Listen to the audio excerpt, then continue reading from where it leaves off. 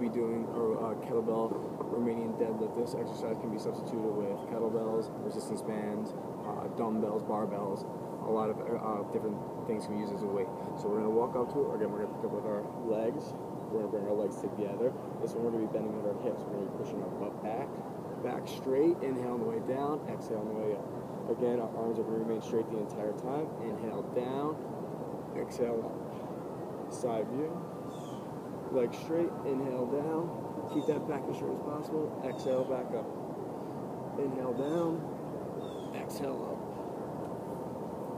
The kettlebell Romanian deadlift or RDL.